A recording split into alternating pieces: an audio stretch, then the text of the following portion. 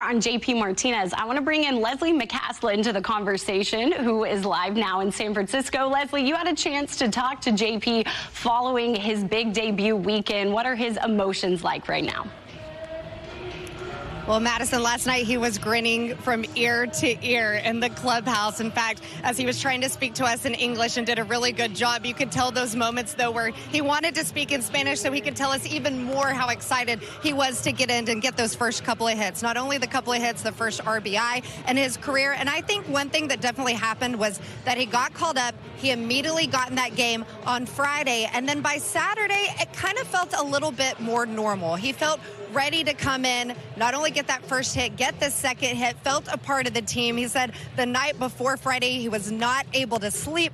But last night, after finally getting in and getting those hits, he said he was going to sleep like a baby last night. Here's what he had to say after the game. When my first game, you know, I didn't feel like fast. So today was like normal day, so I feel good, ready to go. So and that's happened my first hit. So so happy right now. I can explain everything what I feel. What did the guys say when you came off? I know Leody, Adolis, they were all congratulating. It was crazy. Congratulations. So proud of, of you. You know and it was amazing.